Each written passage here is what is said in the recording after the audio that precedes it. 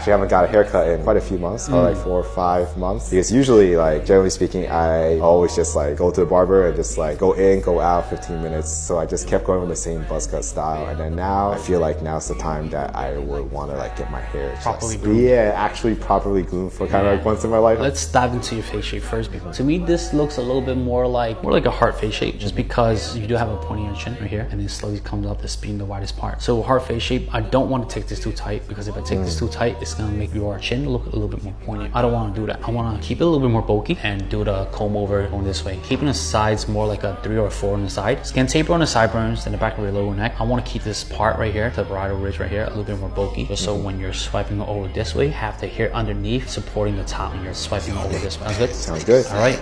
I've been on the road, I'm gone. Private jet for me and the brosy. Extra Renzo, pick up clothes. I made a fence to hit my hoes up. Down on what I'm on, I'm on one. It ain't bad right now, it's the long run.